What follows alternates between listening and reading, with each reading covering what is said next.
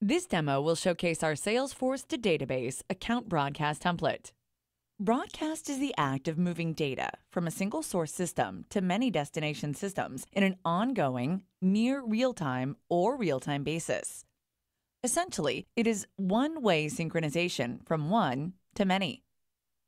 This type of integration is useful when synchronizing data from one system to another in real time, creating a sales order in one system when an opportunity is marked as won in another, and many more. In this video, I will show you an example of an organization that utilizes this template to broadcast its accounts from a Salesforce instance to a database in real time. Right now, let's see how it works inside of two different systems. Here inside of our Salesforce, we can see that we have an account named Amtrak. Let's go ahead and change the number of employees for that account from 19,000 to 20,000. Then, when we go to our database and refresh the table, we can see that the number of employees for that account was updated to 20,000 employees as well.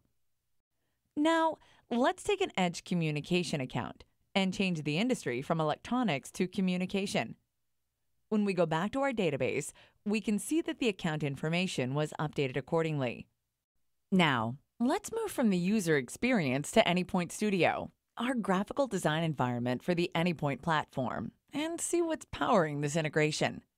Here, we see our template, which leverages best practices for integration with Salesforce and makes this integration possible in minutes.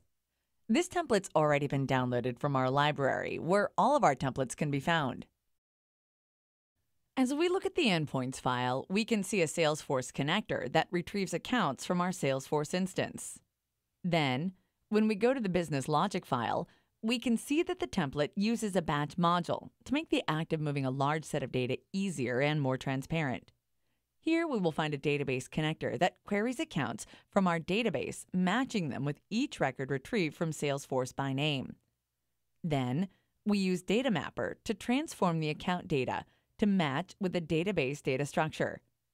Next, we update all existing accounts that were found in our database or create new ones for those that were not. The last step that we do, we log a message report that the migration process has been completed.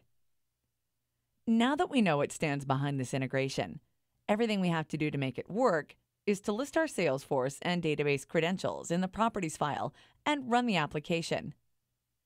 Today, we've shown you our Salesforce to database account broadcast template and broadcasted accounts from one system to another.